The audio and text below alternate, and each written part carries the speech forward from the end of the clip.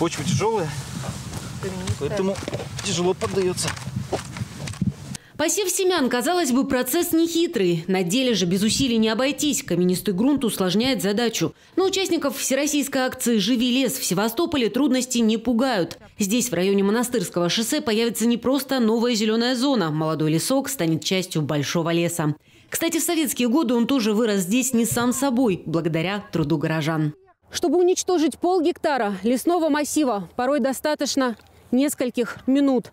Но на восстановление уйдут несколько десятилетий. Специалисты говорят, что эта территория будет восстанавливаться около 40 лет. Телеканал НТС тоже решил принять участие в акции. Мы сажаем краснокнижную крымскую сосну.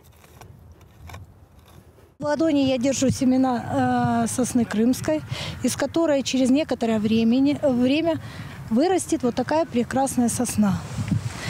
Вот. Э, в свое время, э, где-то 80-е годы, здесь произошел пожар.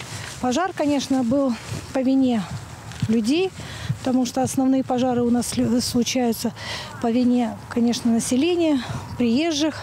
Пламя тогда уничтожило сотни деревьев. Живые, но сильно поврежденные стволы подвергли санитарной вырубке. На территории в 0,6 гектара чудом выстояли лишь единицы. Но у каждого леса свои тайны и свои волшебники. С 1982 года возрождает зеленые легкие Севастополя инженер по лесовосстановлению Валентина Сидорова. Тысячам деревьев в городских окрестностях помогли прижиться ее добрые руки. Я в основном садила хвойные леса. Вот в основном я проработала в Терновском лесничестве 36 лет. Все те деревья, хвойные, лиственные, которые мы садили, которые мы сеяли, а, видите, они же выросли.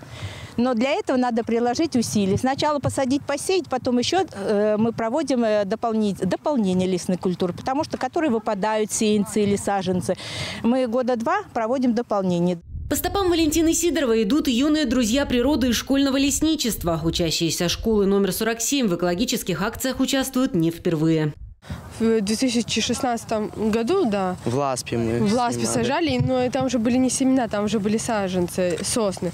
Ну и уже как большинство выросло уже высоко. Мы уже проезжали, видели, очень красиво.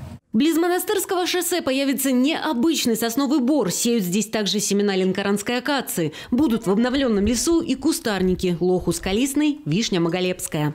Я могу вас уверить, что мы будем за ним ухаживать. Вот, и здесь будет хороший полноценный зеленый лес, который будет радовать граждан Севастополя.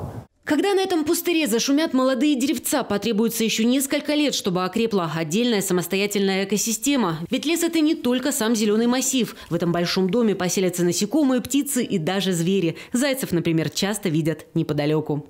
Наталья Данилова, Дмитрий Лелека, Севинформбюро.